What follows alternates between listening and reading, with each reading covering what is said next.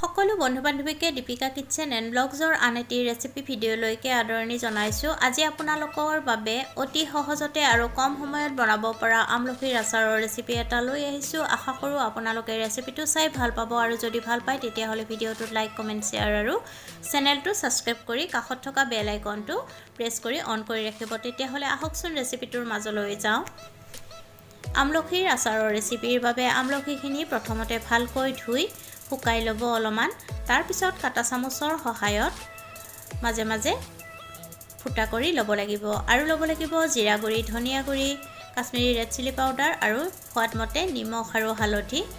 এটুকুৰা নেমু ল'ব লাগিব আৰু পাঁচফোৰণখিনি শুকানে ভাজি খুন্দি ল'ব লাগিব। কেৰাহী এটা গৰম হ'বলৈ দি তাত সৰিয়হৰ তেল দি দিব আৰু তেলখিনি ভালকৈ গৰম হ'বলৈ দিব। বেছি তেল ব্যৱহাৰ নকৰাকৈয়ে আচাৰখিনি বনাম।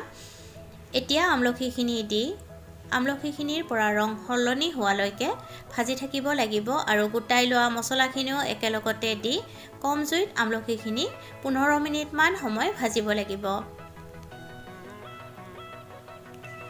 এতিয়া খুন্দি লোৱা পাঁচফোৰণৰ গুড়িখিনি দি দিব আৰু পাঁচফোৰণৰ গুড়িখিনি দিও ভালকৈ মিহলাই ল'ব।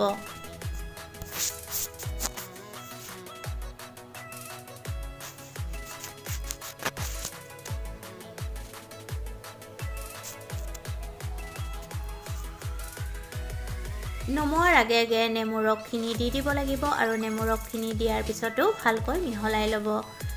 অতি সহজতে আৰু কম সময়তে বনাব পৰা এই আচাৰৰ ৰেচিপিটো চাই যদি আপোনালোকৰ ভাল লাগে তেতিয়াহ'লে ভিডিঅ'টোত লাইক কমেণ্ট শ্বেয়াৰ আৰু চেনেলটো ছাবস্ক্ৰাইব কৰি ৰাখিব।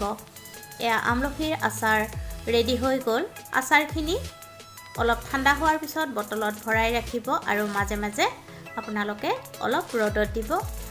যদি ৰেচিপিটো চাই ভাল লাগিছে তেতিয়াহ'লে ভিডিঅ'টোত লাইক কমেণ্ট শ্বেয়াৰ আৰু চেনেলটো ছাবস্ক্ৰাইব কৰি ৰাখিব। পুনৰ উপস্থিত হ'ম এটি নতুন ৰেচিপি ভিডিঅ'ৰ সৈতে। আজিলৈ আহিলোঁ ভিডিঅ'টো শেষলৈকে চোৱাৰ বাবে আপোনালোকক বহুত বহুত ধন্যবাদ জনালোঁ।